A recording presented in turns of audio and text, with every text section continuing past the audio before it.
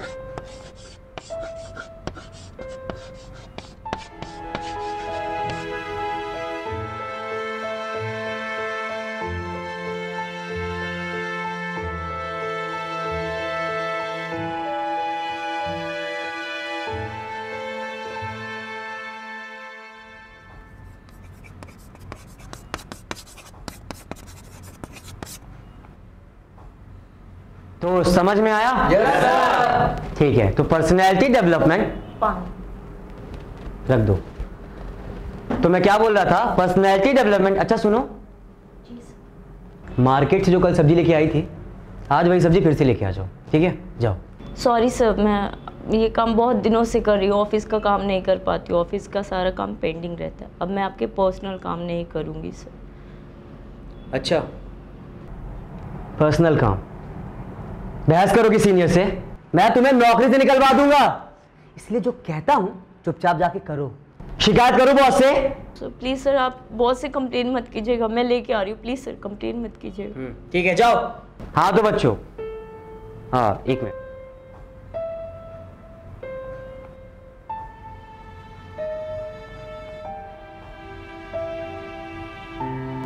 Sir सब्ज़ियाँ सारी सब्ज़ियाँ 200 की हुई हैं। हाँ तो पैसे क्या सुना रही हो? हाँ? देख ले रही मैं पढ़ा रहा हूँ। और तुम्हें क्या एक ही बात रोज रोज बतानी पड़ेगी? जाओ केबिन में और सब्ज़ी काटो। सर मैं सब्ज़ियाँ सारी लेके आई ना अब ऑफ़िस के बहुत सारे काम पेंडिंग है मेरा वो करना ज़रूरी है। मैं सब्ज़ी नहीं काटूँगी। अच्छा।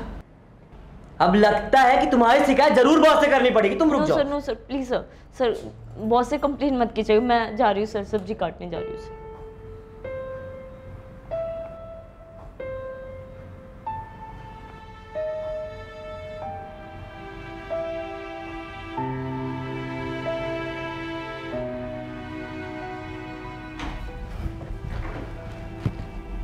ये क्या हो रहा है?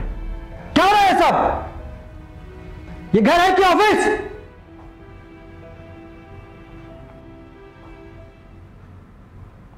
सक्सेस सक्सेस होने के लिए ये जो पॉइंट्स हैं ये बहुत ज़रूरी। हमें सक्सेस होने के लिए ये पॉइंट्स दिमाग में रखना चाहिए। ठीक है? Good morning sir very good morning good morning good morning कैसे हो आप लोग? पढ़ाई कैसी चल रही है? सर आप तो दो हफ़्ते बाद आने वाले थे। आज अचानक कैसे? हाँ मेरी मीटिंग पोस्टपोन हो गई। इसके लिए जल्दी आ गया। सो so, राघव ये सामान की लिस्ट है। इसको मार्केट से लेके मेरे घर पे पहुँचा दो। ओके okay, सर मैं मंगवा देता हूँ। प्रिया? जी सर ये सर के सामान की लिस्ट है जाके लेके आ जाओ। रुको! मैंने तुमसे कहा सामान लाने के लिए। और तुम प्रिया को बोल रहे हो? आ, सर मैं कैसे? ये तो आपका पर्सनल काम है मैं कैसे कर सकता हूँ? बिल्कुल सही तो प्रिया से तुम अपना काम क्यों करवाते हो? सर प्रिया मेरी जूनियर है।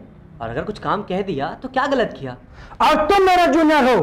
मैं तुम्हारा बॉस हूँ। और तुम मेरा काम करने से क्यों मना कर रहे हो?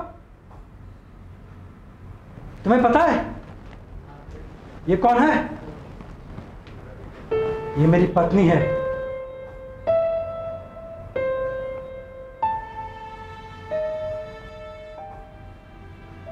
हम दोनों ने मिलकर एक प्लान बनाया था। इस ऑफ़िस में कोई प्यून टिक क्यों नहीं रहा? है अब पता चला कि यहाँ कोई प्यून क्यों नहीं टिक रहा है। इसकी असली वजह तुम हो। यहाँ कोई भी आता है उसे तुम अपना पर्सनल काम कराते हो। सबके जड़ तुम हो। Sorry boss sorry ma'am